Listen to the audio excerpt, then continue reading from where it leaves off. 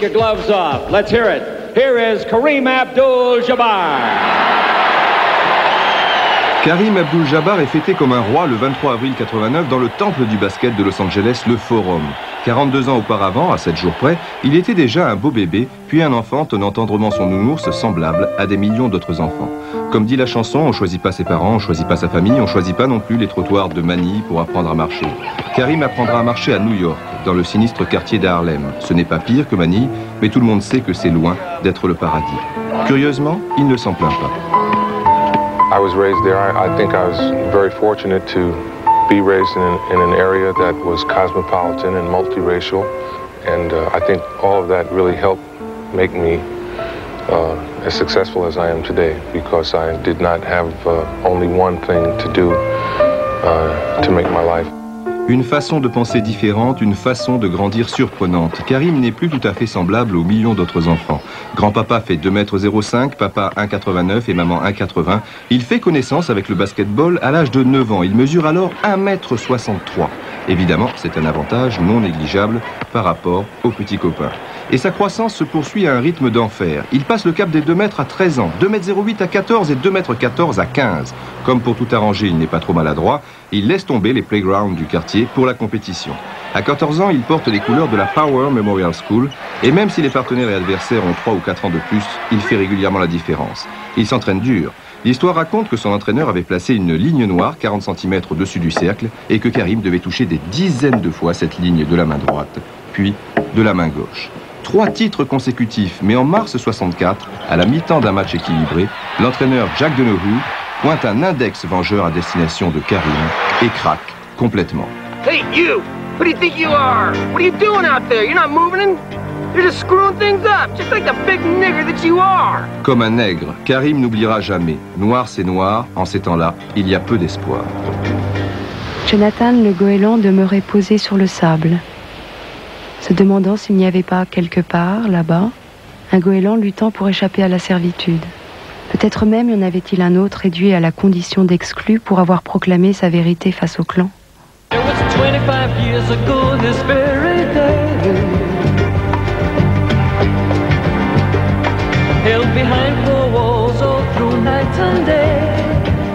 Il y a 25 ans, ils ont enfermé Mandela. Comme pour le noir d'Afrique du Sud aujourd'hui, le noir américain exploité depuis des siècles portait encore en 64 la couleur de sa peau comme un lourd fardeau.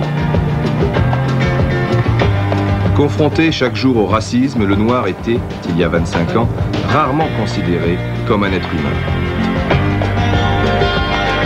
Ça volait bien bas. Alors allons vers les hauteurs, se re-oxygéner l'esprit. Au plus haut de la salle du forum, il y a trois maillots, Baylor, West, Chamberlain. Ils font partie de la légende des Lakers et le 33 de Jabbar viendra les rejoindre dans quelques mois. À l'opposé, toujours vers les hauteurs, des gros drapeaux jaunes identiques, mais si l'on y regarde de plus près, la date est chaque fois différente. Il y a six drapeaux, ce qui correspond à six titres de champion des États-Unis. On peut même dire six titres de champion du monde tout court. Le 23 avril dernier, Jabbar a sans doute une pensée pour ces drapeaux, surtout qu'il en a ramené cinq des six. Comme le temps passe.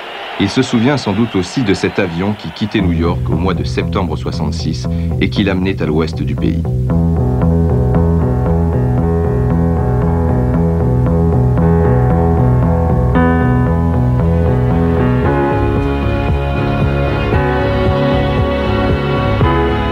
Direction l'université et surtout le basket de haut niveau, la NCAA, c'est-à-dire la National Collegium Athletics Association.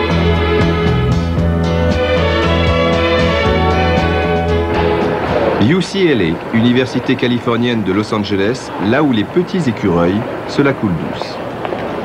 L'emblème de l'université est légèrement plus gros. Attention, il ne va pas tarder à faire son apparition au loin sur la droite de l'écran. Le voici. The Brins, l'ourson. Un peu gros d'ailleurs pour un ourson. Enfin bon. Sa bosse dure, mais on croise aussi beaucoup d'étudiants en survêtements, sweat ou t-shirt. Il faut savoir que contrairement à ce qui se passe chez nous, le sport occupe une place prépondérante dans les universités américaines. On ne ménage pas ses efforts tant intellectuels que physiques à UCLA. Là-bas, on dit LA pour Los Angeles. Et oui, on aime LA. On se promène et on découvre de jolis cours de tennis là où se distinguaient jadis Jimmy Connors et Arthur Ashe. Les deux champions figurent en bonne place sur la multitude de unes du célèbre hebdomadaire Sport Illustrated qui se trouve dans le hall de réception. Des champions de toutes sortes sont passés par UCLA. 23 sports sont pratiqués dans cette université pour un budget, tenez-vous bien, de 19 millions de dollars. Le football américain est en tête de liste. Le sport universitaire est incroyablement populaire. Ces gros bébés jouent régulièrement, par exemple, devant 20 à 50 000 spectateurs. Juste derrière le foot, il y a le basket. Jabbar va rapidement donner sa pleine mesure au contact d'un autre génie, l'entraîneur John Wooden, ici à l'extrême droite. Là encore, nous sommes complètement déphasés. John Wooden, dont vous n'avez sans doute jamais entendu parler, est l'une des figures du sport américain. Chez lui, c'est la caverne d'Ali Baba, pas basket bien sûr. Que de souvenirs pour cet homme qui a pris sa retraite en 75 après 10 titres en poche. Une photo figure en bonne place, sans doute l'équipe la plus complète de l'histoire de l'UCLA, avec un certain, et oui, à l'époque, c'était encore Lew Alcindor. He didn't ask for anything. He did his job, he worked hard, uh, was a good student. He has a high IQ, made good grades. Just an ideal type of young man uh, with whom to have on a team. Les exploits de l'équipe de basket se sont déroulés dans cette salle située au cœur de l'université, le Paolé Pavilion. Jabbar est grand, 2 m 18 et il saute très très haut. De plus en plus haut, Tant sur le plan défensif que sur le plan offensif, il enflamme le Paolé Pavillon. Il est devenu aussi le spécialiste du bras roulé et sur ce parquet, les adversaires de UCLA prennent raclée sur rouste et rouste sur raclée. Mais comme dans tout sport, on joue aussi à l'extérieur. Jabbar se distinguera ainsi dans tout le pays avec notamment un match mémorable contre les Texans de Houston. Le pays est à l'image du basketteur, grand, et même plus que ça. Et l'ennui, c'est que lorsque l'on arrive à destination, il faut reprendre l'avion le lendemain. C'est long, pénible, fatigant. Pour vous rendre compte à quel point Jabbar a dominé la NCAA, sachez que par sa faute, enfin façon de parler, on a interdit le smash pendant plusieurs années. Remarquez, smash ou pas, le résultat est sensiblement le même. Meilleur joueur de la NCAA en 67 et 69, vainqueur à trois reprises du championnat, sa carrière universitaire aura été un remarquable tremplin sportif et psychologique. My college career was very important. Um, it was my first uh, encounter with na nationwide publicity and uh, the pressure to win the NC2A championship. And uh, we did very well. I'm very proud of my, my college career. C'était il y a plus de 20 ans. 20 ans. À cette fameuse fête, il réalise une nouvelle fois qu'il a joué 20 ans au plus haut niveau, ce qui paraît invraisemblable quand on connaît la rudesse du championnat professionnel. Mais jusqu'à 42 ans, il a su garder son territoire. Et même lorsqu'il était bousculé à son tour, il ne bronchait pas et retournait rapidement à son poste après avoir remis ses lunettes qui faisaient office de protection, sa vue n'étant pas défaillante, loin s'en faut. Papy Jabbar est un phénomène. Il mérite vraiment de mettre ses charentaises et de se bercer tranquillement dans son rocking chair. Il pourra toujours se dégourdir les jambes à l'occasion au Paolé Pavillon s'il le désire, car il habite à l'heure actuelle à 10 minutes de l'UCLA. L'UCLA, c'est aussi un mauvais souvenir. Il sortait avec une blanche. Bill Swick, l'entraîneur de Monaco, qui tire ici au panier, faisait également partie de l'équipe de Jabbar. Il se souvient. Je sais qu'il est sorti avec euh, une ou deux fois avec les blanches. Il a eu des problèmes. Euh, c'était la période où c'était pas toléré. Période où ce n'était pas toléré. La blanche en question se fait régulièrement charrier par les autres étudiants. Ce sont ensuite les coups de téléphone anonymes en pleine nuit, sans compter les innombrables humiliations. Le couple n'y résistera plus très longtemps. I said, but I think I understand your, your, your problem. And he said, Coach, there's no way you can understand because you're white and I'm black and you're a long ways from being seven feet tall. So there's no way you can really understand my problem. And he was right. He was right. Octobre 68, Jabba refuse de disputer les JO de Mexico, ce qui sera très mal reçu par le grand public américain. 4 avril de la même année, Martin Luther King, leader du mouvement américain pour les droits des Noirs, est assassiné. Les réactions de colère qui suivront feront 46 morts. La révolte gronde, beaucoup d'athlètes noirs ont boycotté les Jeux, d'autres, comme Smith et Carlos, respectivement premier et deuxième du 200 mètres, se distinguent en fixant le sol durant l'hymne américain, le poing ganté de noir, dirigé vers le ciel. Mais Jabbar n'aime pas L.A. L.A. c'est du tape à l'œil. Le Californien ne sait pas quoi inventer pour se faire remarquer. Sous des allures cool, il fait également la sourde oreille lorsqu'il s'agit d'évoquer le problème noir, ou alors, ou alors, il s'enfuit en courant, tout en sautant à la corde. L'important, c'est de s'occuper de son corps, c'est la nouvelle mode. S'occuper de son esprit l'importe peu, il est superficiel. Jabbar déclarera alors, UCLA fut une erreur, hormis le basket et le Paulé Pavillon, bien sûr. Mauvaise période et mauvaise appréciation bien souvent des gens sur le plan de son jeu. Selon ces derniers, Jabbar ne devait son succès qu'à sa taille. Il était pourtant également très adroit à mi-distance, ce que l'on a tendance à oublier. Tout bien considéré, il savait tout faire, même adresser une passe millimétrée des 25 mètres, mais il se trouvait rarement dans une telle situation de jeu, car bien sûr, sur le plan tactique, sa présence s'imposait sous les panneaux. Et dans ce contexte, il n'y avait pas que les bras roulés. Selon les spécialistes, avec 15 cm de moins, il aurait été tout de même un crack du basket. Juin 69, Jabbar, qui a terminé ses études, se lance dans le basket professionnel. Il portera le maillot des Milwaukee Bucks. Bye bye la NCAA, hello NBA, National Basket Association. Et c'est parti pour un long et périlleux voyage.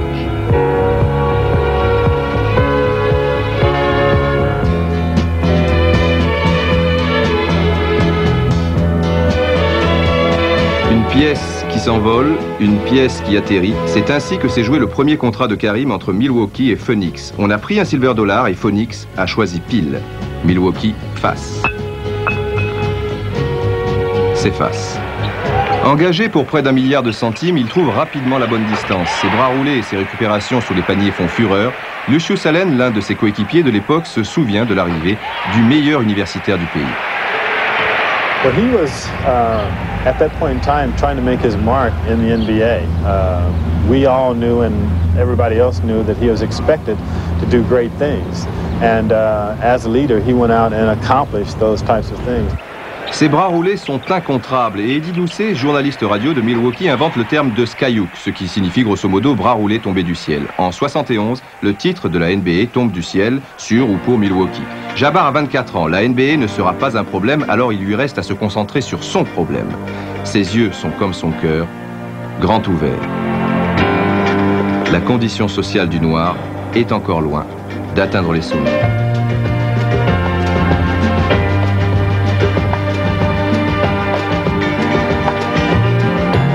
Oublier toutes ces folies. Je dois à tire d'elle revenir chez moi, faire ceux de ma race et me contenter d'être ce que je suis, c'est-à-dire un pauvre goéland borné.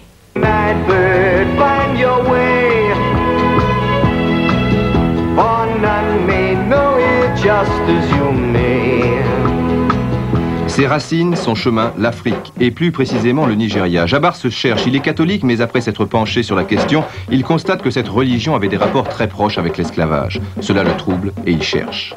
I started looking to other types of thought, uh, other religions. I investigated everything. And Islam made sense to me. I felt in my heart that it was right. Juin 71, il se convertit musulman. Ferdinand Liu Alcindor s'appellera désormais Karim Abdul-Jabbar. Il se rapproche de son idéal, mais s'éloigne encore un peu du grand public. Ce public qui désormais ne lui pardonnera plus la moindre erreur sous les paniers. Transféré aux Lakers de Los Angeles en 75, il retourne donc à la case départ, mais c'est en fait un nouvel envol, car les Lakers font déjà partie du top.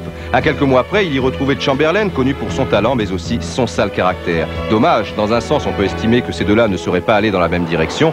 D'un autre, le 5 majeur des Lakers aurait eu fière allure avec Jabbar, 2m18 ici à droite, et Chamberlain, 2m14 ici à gauche. I love LA. I love LA. Ça va, ça va, on a compris. De toute manière, inutile d'insister, il n'aime pas LA. Mais rapidement, LA l'aime. Contre, smash et bien évidemment, bras roulés. Le bras roulé qui tombe du ciel. Le skyhook est à la mode dans les tribunes, mais également sur tous les terrains de basket de la ville, comme par exemple à Venice Beach, où tout le monde le tente et le réussit parfois. Et on n'en est pas peu fier. No, that's a skyhook. The mechanics of the shot are, are pretty simple. Um, the whole idea is to shoot the ball from a position where the defense cannot play effective, effective defense. When I turn like this, this keeps the ball away from any effective defense. I take my step to the side and use this leg to plant and establish my position. Then I go up off of that leg and shoot the ball from behind your head. That concept is what enables you to shoot the ball against taller opposition very close to the basket, and it makes it a very high percentage shot. The release is at the top of your jump, and it is released with the extension of the arm. So the mechanics again, get your position, you turn, and release the ball. Le mécanisme semble assez simple en effet, mais rares sont ceux qui tentent ce geste. Geste que réussit Jabbar aussi bien de la main droite que de la main gauche. UCLA est déjà loin. John Wooden va donc passer le témoin à Pat Riley, qui fut le coach de Karim durant 9 ans. I mean, he could score 80 points a game if he wanted to, uh, but he scores 20 and he gets 12 rebounds and 7 assists. And this presence that he has in helping other players become better is what his greatness is really all about. En phase offensive, ses coéquipiers s'appuient sur lui. On lui donne la balle et il fait sa vie, ou il tente le skyhook, ou comme il a très souvent deux adversaires à ses côtés, il rend le ballon à un partenaire qui a tout le temps d'ajuster son tir. Karim aime être sollicité sur un terrain, mais dès le match terminé, il a horreur de ça.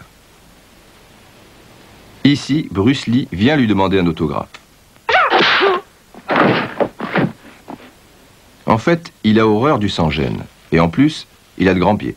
Gare à vous si vous insistez lourdement. Il reste ferme sur l'épée. En 79, le célèbre Erwin Magic Johnston signe aux Lakers et va dès son premier match faire connaissance avec le flegme de Karim.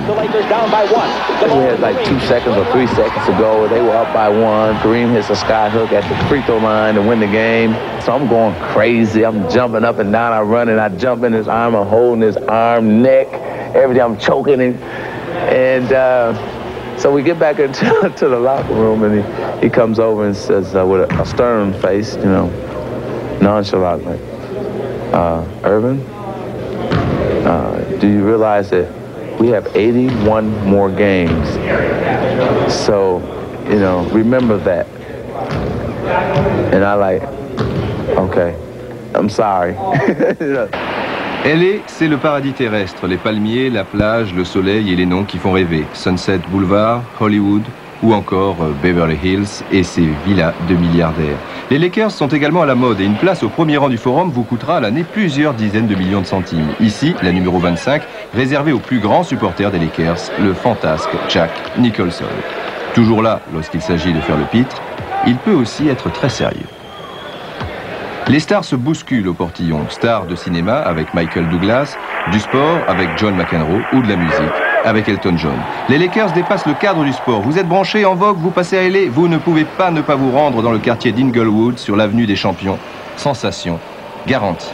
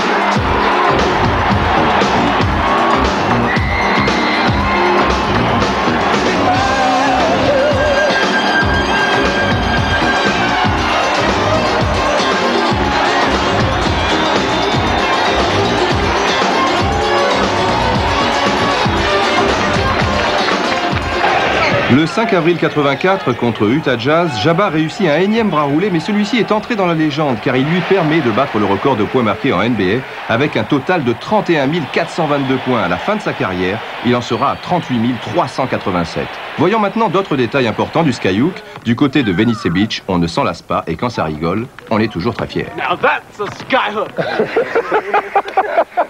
C'est plus fort que lui, ça le fait marrer. The last aspect of the shot that I think uh, you should concentrate on if you're going to study the shot is the release. It should be done with the ball off of your palm and with keeping two hands on the ball as long as you can. I have large hands. I can control the ball with one hand. Most people don't. At the end of the shot, as you can see, the ball is not on the palm of my hand. It's resting in my fingers. And it does not come any lower than my fingers. That's very important because it gives you fingertip control. Bien, récapitulons. On prend la balle à deux mains. On monte le plus haut possible avec deux mains. À un moment, il n'en reste qu'une. Et ce sont les doigts et non la totalité de la main qui donnent l'impulsion à la balle. La balle quitte donc la paume de la main, elle roule vers les doigts qui jouent ensuite leur rôle.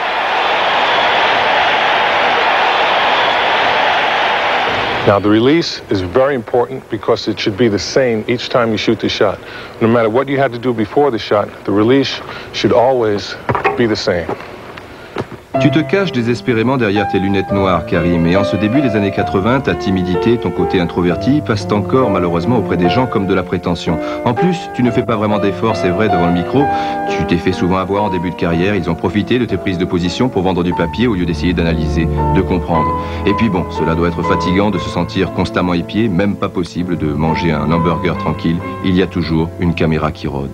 Selon un récent sondage, tu es l'une des dix personnalités les plus connues du pays. Même déguisé, rien n'y fait et rien n'y fera.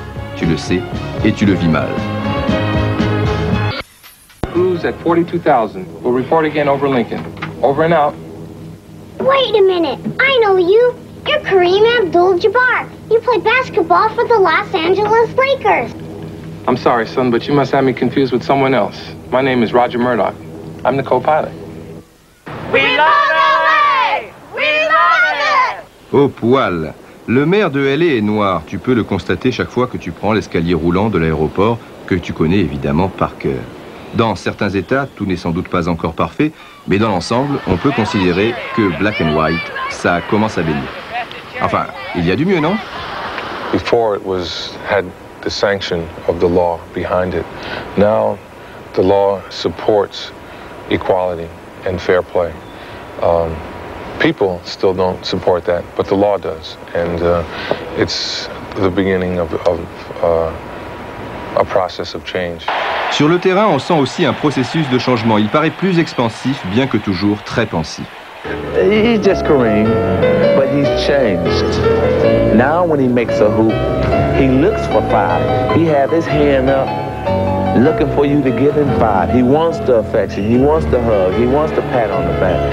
And that's so beautiful to see a man who has been so one way all his career change over to say, hey, it's all right to high five, it's all right to hug. Bien sûr que ça fait du bien, bien sûr qu'il a besoin d'affection, ça saute aux yeux. Reste maintenant à le faire comprendre au public qui le prend encore pour un extraterrestre. Il te faut travailler sur la durée jusqu'à ce que tu sois capable de survoler le passé et l'avenir. À ce moment-là, tu seras prêt à entreprendre le plus difficile. Tu seras prêt à prendre ton vol pour aller là-haut, connaître le sens de la bonté et de l'amour.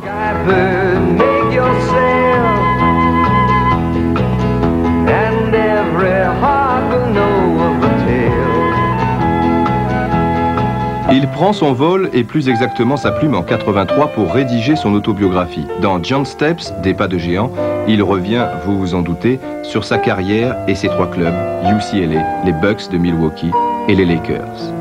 Il parle aussi de son amour pour le baseball et l'équipe des Brooklyn de New York dans laquelle joua le premier noir de l'histoire, Robinson. Robinson, tombeur des barrières raciales du sport.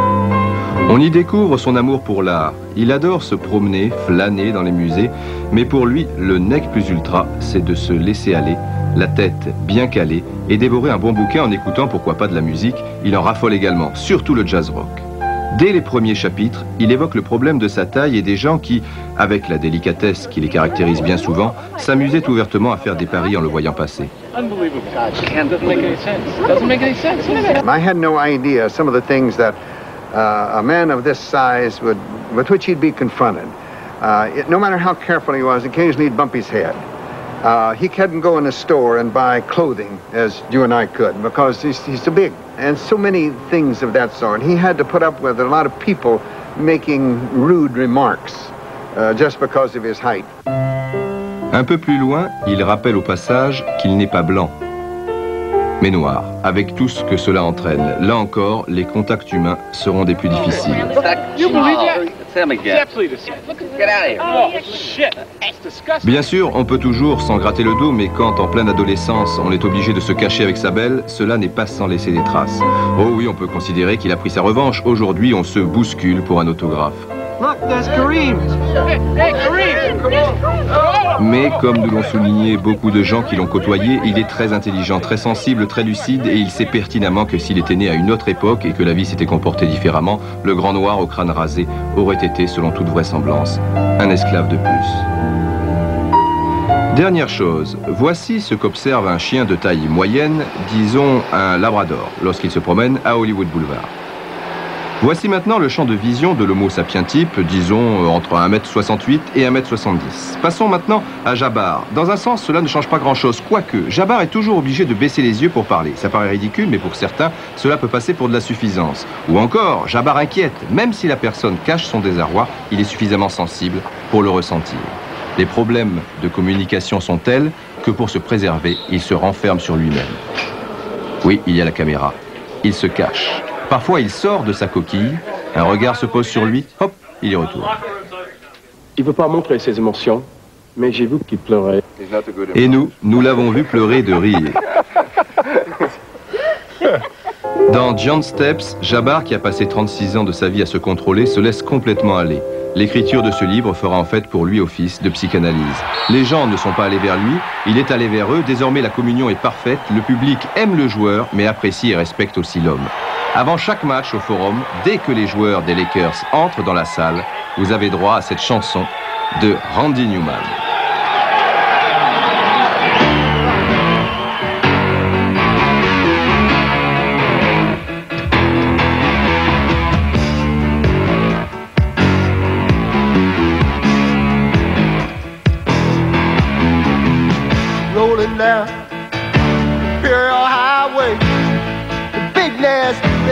Santa Ana winds blowing hot from the north. We were born to ride. Roll down the window, put down the top. Crank up the Beach Boys, baby. Don't let the music stop. We gonna ride it till we just can't ride it no more.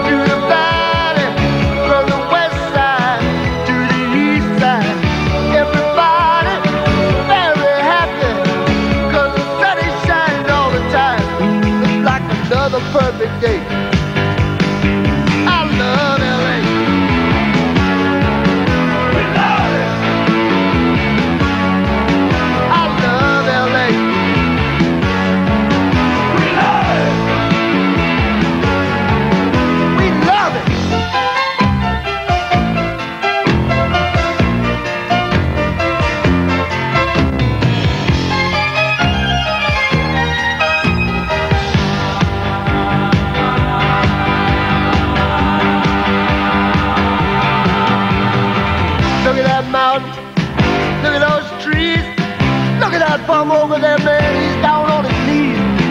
Look at these women. Ain't nothing like them nowhere.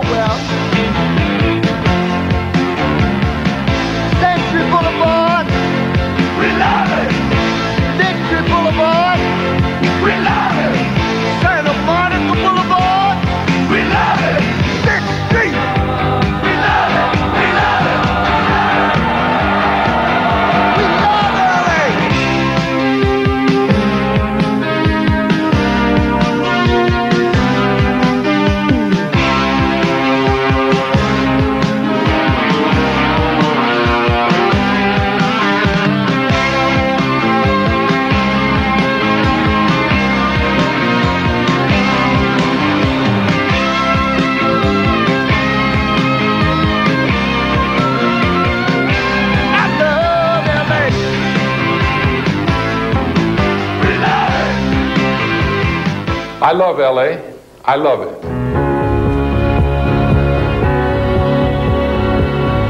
Il n'y a qu'une chose que Jabbar n'aimera jamais, les voyages. 82 matchs par saison entre mars et juin, soit une rencontre tous les deux jours. En plus, vous imaginez bien que même en voyageant en première, ce n'est pas vraiment le grand confort pour un joueur de 2m18. Ah, et puis j'allais oublier, le genre de remarque qui l'agace profondément. I think you're the greatest, but my dad says you don't work hard enough on defense. And he says that lots of times you don't even run down court. And that you don't really try, except during the playoffs. The hell I don't. Listen, kid. I've been hearing that crap ever since I was at UCLA. I'm out there busting my buns every night. Tell your old man to drag Walton and Lanier up and down the court for 48 minutes. Bah oui, Johnny, bon, je te l'accorde. Karim y est allé un peu fort, mais il a raison. Bien sûr, il avait besoin de récupérer plus souvent ces dernières saisons. Mais après tout, cela semble bien normal. Jabbar est un phénomène. Selon ses proches, il s'entraîne 12 mois sur 12. Il a toujours beaucoup fait d'étirements et a pratiqué très sérieusement le stretching. Pour John Wooden, son coach de l'UCLA, il a un sens de l'équilibre étonnant que l'on retrouve rarement chez les joueurs d'une telle taille. Impressionnant également du fait de sa structure, des muscles longs et fins. Il n'a jamais eu d'élongation, de béquilles. En fait, il n'était pratiquement jamais blessé. Pat Riley va plus loin. Il estime qu'il est le plus grand athlète vivant sur cette terre. Pat Riley et ses fameuses fiches. Des chiffres, des flèches qui vont dans tous les sens et des joueurs qui écoutent attentivement et qui connaissent de toute manière leur partition sur le bout des doigts. Le basket est très tactique. Découvrons maintenant l'une des tactiques les plus importantes du temps où Karim jouait encore. I would just throw my fist in the air like this, and it's called fist up.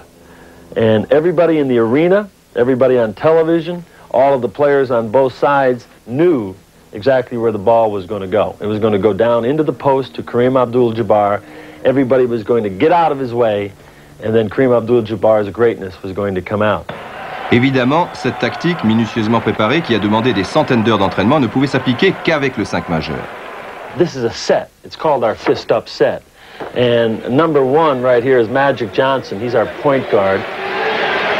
Number two would be Byron Scott, our shooting guard. Number four would be AC Green, our power forward. And number three over here is James Worthy, uh, our small forward. And obviously number five, uh, in his office, uh, so fondly known, the key area is Kareem Abdul-Jabbar. And anytime we need a big basket, we call fist up, and this is what we're looking for. Is that Irvin Magic Johnson, number one, is going to take the ball on the dribble to the sideline. C'est Magic qui dirige la manœuvre et c'est à lui que Riley s'adresse du bord du terrain. Ensuite, vous le voyez, Magic transmet le message à ses coéquipiers. Pour le coup d'après, ok, fist up, le point levé. On y va juste après ce tir. C'est l'un des moments décisifs car les Lakers sont déjà menés de 5 points. Il faut marquer à tout prix. Magic dribble le long de la ligne. Now, when the ball touches Kareem's hands, that's when the motion begins of the other players. Irvin Magic Johnson will spot to the corner, is what we call spotting. Byron Scott will make a hard basket cut through to the basket. AC Green will cut, will cut over the top of Byron Scott to the basket to keep the weak side defense honest. And James Worthy will rotate and fill to the high post. Bien, où en sommes-nous? Il y a là Magic Johnson, le 1, Karim Abdul-Jabbar, le 5, et James Worthy, le 3. Maintenant, si nous avons bien compris, le 2, Byron Scott, devrait faire son apparition et se placer dans un premier temps entre Jabbar et Worthy. Le voici. Il va au bout du terrain et quasiment dans le même temps, Worthy se dirige vers la raquette. Tout le monde est là Non, il manque le 4, Essie Green. Il est en retard à cet instant, il devait déjà être sous le panneau. Sachant très bien qu'il ne rattrapera pas le temps perdu, il reste derrière. Worthy se dirige comme prévu vers la raquette, mais beaucoup moins bas, puisque Essie Green est de toute manière dans son dos. La courbe sera ici plus nuancée. La suite, maintenant, Monsieur Riley. Now is when Kareem really has to make his decision. Is he going to pass the basketball? Is he going to shoot the basketball? Uh, or is he going to create some other offense in the post? Ici, Karim choisit l'option de la passe. Elle est pour James Worthy. Mais les 7 dixièmes du temps, voici le scénario. Magic, qui vient de remonter la balle, donne à Karim. Celui-ci temporise, fait mine de jouer le coup avec Magic, protège bien le ballon, puis pivote, monte ce ballon avec les deux mains, puis le bras bien tendu derrière la tête, le fait glisser vers ses doigts, qui donne la touche finale. It's called fist up. That's the money play that has won a lot of championships for the Lakers in the 10 years I've been here. L'ennemi juré des Lakers, les Celtics de Boston de Larry Bird, les supporters vêtus de vert exultent. Dans l'histoire de la NBA, les Celtics ont rencontré les Lakers à neuf reprises en phase finale et ils l'ont chaque fois emporté. Pat Riley le sait et en ce mois de mai 85, son pivot a tout de même 38 ans. Il est vrai que l'attelage avait accru sa puissance. Il pouvait en vol surclasser tous les autres goélands de la communauté, et il avait acquis la parfaite maîtrise de domaines où les autres n'osaient s'aventurer qu'à petits pas. Look at the way I glide, caught on the wind's lazy tide, sweetly how it sings. Rally each heart at the sight of your wings. Le 9 juin 85 au Boston Garden, les ailes argentées de Jabbar sont en perpétuelle activité. Les supporters du Celtic sont verts au sens propre et au sens figuré. C'était le match décisif. Les Lakers remportent le titre. Ils ont battu leur bête noire. Mais pourquoi une telle expression? Pourquoi bête noire Voir tout en noir, noir sur le tableau, etc. Bon, passons et revenons sur terre, là où Karim n'a pas aidé ses coéquipiers seulement sur le plan du basket. When I was that young rookie coming in, snotty nose and all, not only did you wipe my nose clean, but you put me in the right path where I could come, become not only the player that I wanted to become, but the man that I wanted to become. Thank you Magic, thank you aussi pour les clés, les clés du cadeau offert à la fameuse réception par tous ses partenaires. Une Rolls-Royce Silver Shadow, un cadeau qui vous montre à quel point ils aimaient leur capitaine. C'est aussi grâce à cette formidable ambiance qu'il a prolongé régulièrement sa carrière. Autrefois, il prenait l'avion comme vous preniez votre voiture. Aujourd'hui, il va enfin pouvoir calmer le jeu de ce côté-là. Ça, ça commençait à lui peser sérieusement. À ce propos, Karim, combien de miles dans ta carrière? Jeez, I don't know. Um, I think someone tried to figure that out. Um, I think we fly an average of 40,000 miles a year times 20 years. So uh, that's about 800,000 miles. 800 000 miles, soit 1 280 000 kilomètres, soit plus de 30 fois le tour de la Terre en 20 ans. Dernière phase finale contre Détroit au mois de juin dernier. Oui, il était temps que ça se termine. D'ailleurs, confidence pour confidence, il n'y a plus de copilote dans l'avion.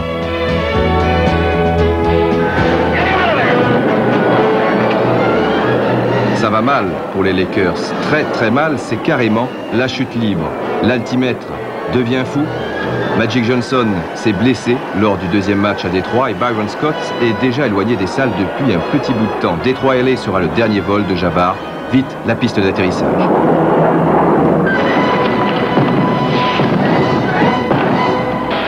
Avant cette rencontre au Forum, le 13 juin 89, Détroit mène 3 matchs à 0. Je vous rappelle que le premier à 4 victoires devient champion. Privé de Magic et Scott, on voit mal les Lakers remporter 4 matchs consécutivement. Enfin, il y en a quand même qui ont encore le moral.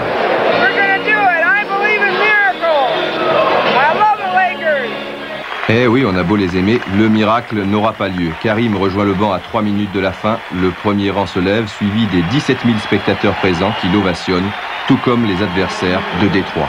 Karim Abdul-Jabbar, six fois sacré meilleur joueur de la NBA, recordman des saisons jouées, des matchs joués, des minutes jouées, des contres, des récupérations et du nombre de points. Il donnera un peu plus tard ses dernières interviews en tant que basketteur, des interviews où, comme toujours, on ne parlera pas que de basket. Personally, uh, just learning how to become a mature adult has been the biggest challenge. I think that's the biggest challenge for any individual. La vie reprend son cours. Une page de la NBA est tournée. Le lendemain matin, après un ultime décrassage avec les copains, il reprendra ses affaires. Il y a beaucoup de choses médiocres dans la vie. Médiocres à un tel point qu'on peut se demander parfois ce que l'on fout là. Heureusement, il y a aussi des choses formidables. L'amitié et l'amour, les deux peuvent être parfois étroitement liés, font partie de ces choses-là. Pour ces choses-là, et quelques autres, la vie mérite sans doute d'être vécue. Écoutez Magic Johnson à la conférence d'après-match. Were saying to him uh, us? The fact that, you know, just thank you, we love you. Um, just different things like that. I think that everybody uh, uh, just wanted to say thanks for all the good times and the memories. And, uh, you know, we're, we're still here for you. And uh, if you ever need a friend, just pick up the telephone.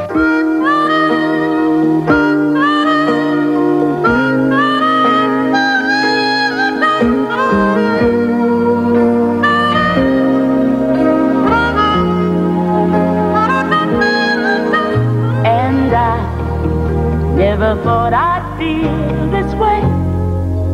And as far as I'm concerned, I'm glad I got the chance to say that I do believe I love you. And if I should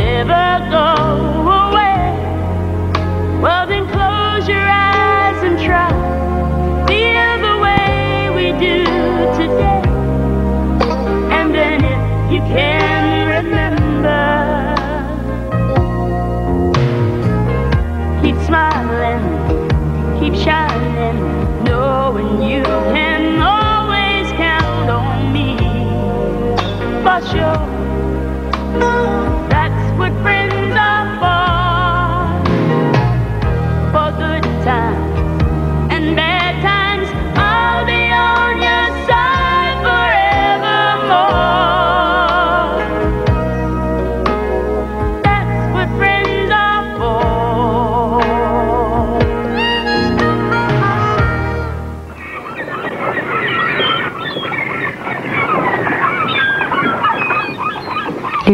S'éteignit. Jonathan le goéland s'était évanoui dans l'espace.